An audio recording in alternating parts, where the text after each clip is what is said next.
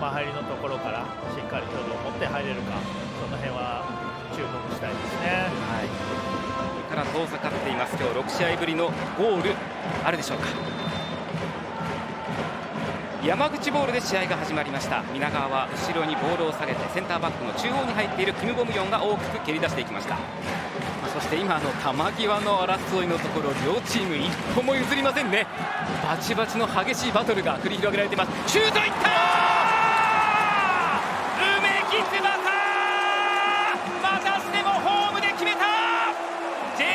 自力残留へ。大きく手繰り寄せる。エース梅木翼のゴール。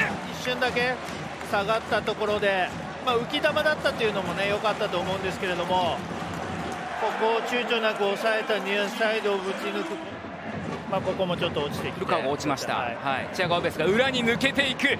このパス追いつけるか。対応するキム・ボムヨン。抜けていく。チアゴペナルティーキック獲得岡山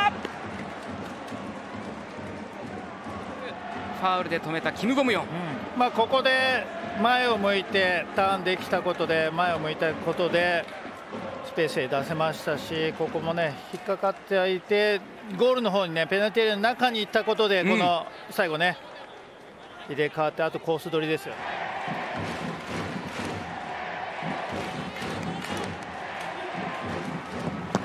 止めたそしてまだチャンスあるか？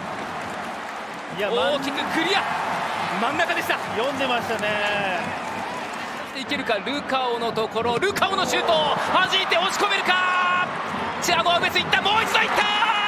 最後はステファン・ムークだ！はい。まあ、指示が出ているのがか？ここはルカオが強い。関が止めた。こぼれ球！流し込んだ！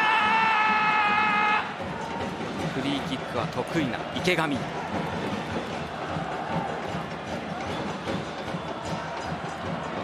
いった！アディショナルタイム！背番号10池上ジョージ決めた！同点に追いついた山口！入り込んで、まあ、壁もしっかりジャンプしてますし、はい、そこを、ね、上から落ちていきましたので、まあ、距離が近かったのでキーパーもやっぱり、うん、あの壁を越えてきたボールに対してはね反応できませんでしたし、まあ、でも、あの大一番。勝ち点3をめぐる攻防です。柳が落として。ここで両チームドローを告げるホイッスルです。